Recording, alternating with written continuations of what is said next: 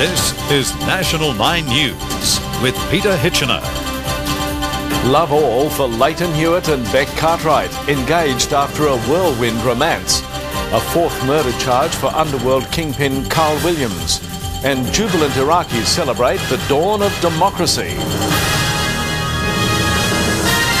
Good evening. Also tonight, mushroom menace, a warning over the danger lurking in Melbourne's botanic gardens. Far from wallowing in self-pity following his loss to Marat Safin in last night's Australian Open final, Lleyton Hewitt stunned family and friends by proposing to girlfriend Bec Cartwright.